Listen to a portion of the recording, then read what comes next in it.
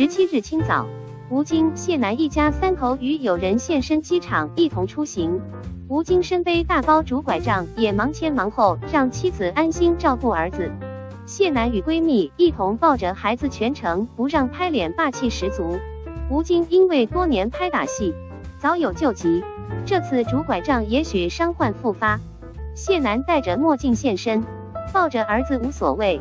吴京虽然拄着拐杖，但还是老公力十足的照顾妻儿，自己一手拄拐，一手推行李车，还背着一大袋行李。